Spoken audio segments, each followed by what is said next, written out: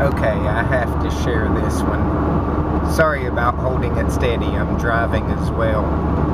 That is a boat strapped down to that car. And at first I thought, okay, they're doing the we don't need no stinking trailer. But if you look, the boat fits the roof perfectly. And it's pulled down really tight because the sides of the boat are actually pulled outward a little bit because it's down so tight. You can see they put quite a lot of thought into it.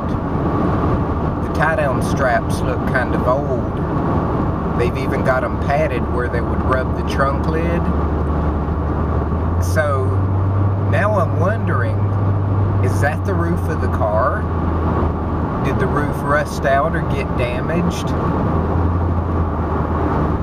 Because they've been on the highway for a long time. It just makes me wonder.